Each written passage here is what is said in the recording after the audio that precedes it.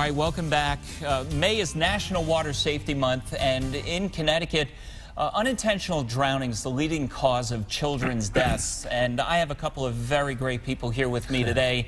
Uh, Mr. and Mrs. Leonard, thank you, first of all, so much for taking the time out of your Mr. busy... and Mrs. Leonard? Yeah, it sounds not? so formal. We can't be formal here, but I'm Yeah. with Stew and Kim and you here. used to be in Norwalk all the time. That's right. We go way back. Yeah. Absolutely. But I was thinking about it's the time of year I talk about temperatures warming up. A lot of people are talking about cleaning their Yeah. pools up.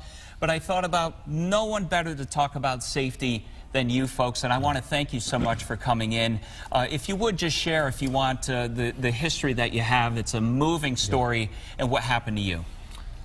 You want to? All right. Um, it was our oldest daughter's third birthday. We were getting ready for her party. We had family all around.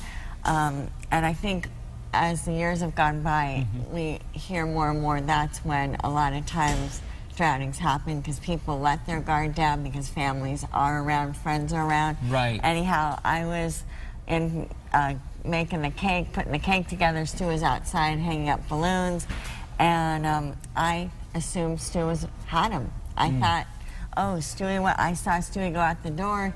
Stew's, He was Stew's only watching. 21 months old. And um, he thought I was watching him, and Okay. it just happened Just that like little- that. That's what we Couple talk about. It only takes a short amount of time. And our son drowned, and so everybody watching, what, Mm. one of the things Kim and I were so happy you had us on today, but we just want to let everybody know who's watching today. Just be so aware, you know, when you're out around the pool. And Right. Make sure when you have a dad and a mom that one of them is locked onto that Okay. child and watching. And they them. know they're like the designated watcher. Right, don't always I assume that someone else is the responsible person, but make connection. Um, and I just want to talk on a, on a sideline, too, that it seems to me when I see people at pools or at the beach, a lot of people are snapping photos, but people in the photo are on their phones. Oh. Do you think that's another layer here of, of danger? Well, you, you know, one of the things, you, you know, we heard the Red Cross gave a great saying. It's not a lack of supervision; it's a lapse of hmm. supervision. And that's what happened to Kim and I. And so, you know, you just, you, you know, just being on your phone, you're not watching your kid. Right.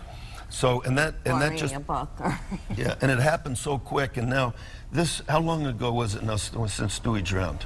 Uh, 25 years. no, no more. Uh, 1991. 1991. So, No, it- it- 89, 89, 89. yeah. So, and we've heard tens of thousands. You know, we've been out. People that have expressed to you. And we can't we can't tell you how many near drownings there is. You know, where somebody and probably people listening today have, have said, "Oh, that almost happened to me."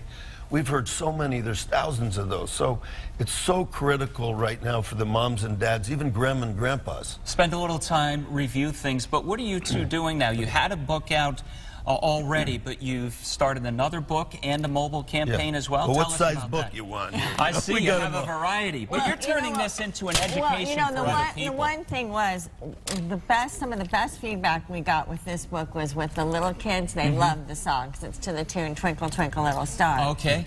Well, well, basically, we wrote this book. It has three lessons in it, okay? And, and this is what Kim and I and our daughters, we have four daughters now, Oh, okay? hey. So I, I live with five women.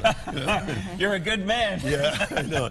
So, um, but anyway, we wrote this book, and there's three lessons. One of them is is learn how to swim, and that's why Kim and I support in our foundation. We've raised over a million dollars now, just for the YMCA's within the state of Connecticut. That's moving. I was reading about that. How can people watching right now, though, help you in that mission? Well, you could go to stewietheduck.org, and there's all the information on that that, that can help. And 100% of all the proceeds go to basically the YMCA's, which are desperate, you know, for funding, obviously. You see, Sure. with the state budget and everything.